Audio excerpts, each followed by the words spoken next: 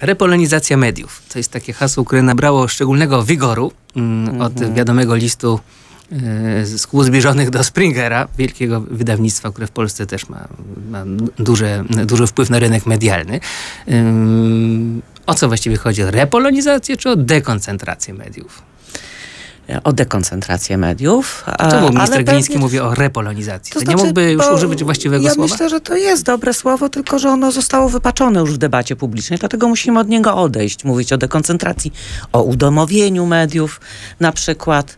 E, A mm, repolonizacja nie jest złym słowem, ale tak jak mówię, jesteśmy już na takim etapie debaty publicznej, że, że ono się... mm, Zużyło. Zużyło się, zużyło się. Źle, tak, źle jest rozumiane dzisiaj.